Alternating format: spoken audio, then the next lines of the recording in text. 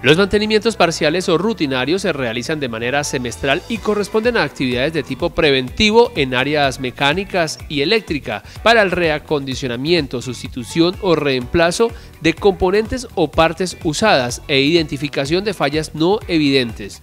En ISAGEN básicamente tenemos tres tipos de mantenimiento. La intervención parcial que se hace más o menos cada seis meses, el mantenimiento general que se hace más o menos cada dos años y un mantenimiento mayor que se debe hacer más o menos cada 10 años, que ya es más invasivo el mantenimiento que se le hace. Durante el mes de marzo se realizaron mantenimientos parciales en las tres unidades de generación en la central hidroeléctrica Sogamoso.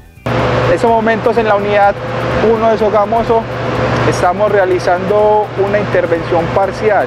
El grupo mecánico eh, en la parte del generador lo que hace es eh, verificación de estado de la estructura, eh, verificación de niveles de aceite en los cojinetes superior, inferior y, los cojinetes y de turbina.